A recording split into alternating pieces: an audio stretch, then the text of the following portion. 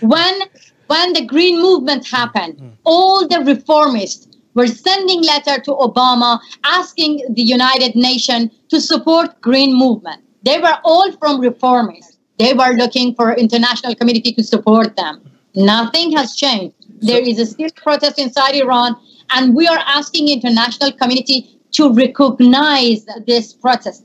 And I'm going to give you another example. When the, when Catherine Ashton went to Iran before Iran deal, what happened? Her condition was that that I have to meet with with Iranian activists, human rights activists. It was be, before Iran deal, and he and she did. What happened after the deal?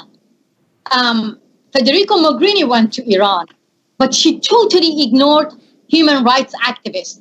So that actually showed that you know the reformist uh, government and the Western feminist and Western government they actually get together and they care about the, the deal. They care about commercial contract. They care about business. They totally forget about human rights. What I'm actually asking and I'm looking is just do not bury human rights under your political agenda and recognize the people who are sacrificing their life, who are still in prison, fighting for a better life, fighting for better opportunity, fighting for greater freedom, but you using them in some occasion Secular Jihadists is an increasingly influential podcast with much of its growing audience in Muslim majority countries, advocating for atheists, secularists, and Enlightenment thinkers.